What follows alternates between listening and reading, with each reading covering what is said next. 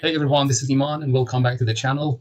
Today I'll show you how to open older SAP 2000 files like those from version 16, 15, 14, or even 12 in newer versions like 23 or later. All right. Uh, when you try to open a file from an older version, you may see this warning.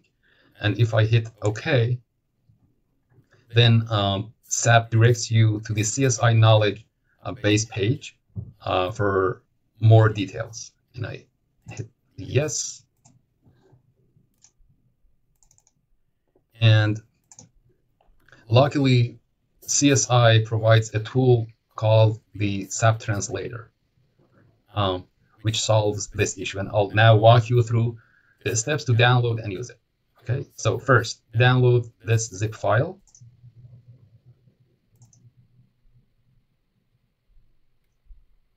Then extract the file.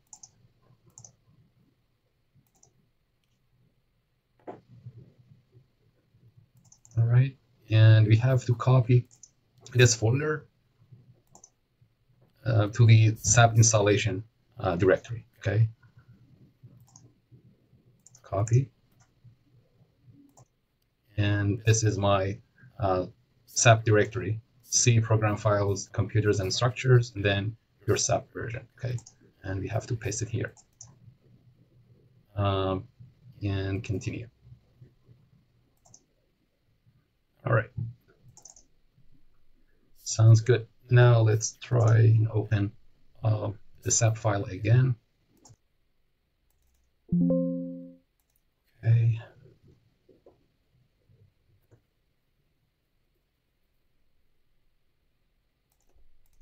And it worked. Perfect. Uh, and that's it. Thank you so much for watching and good luck.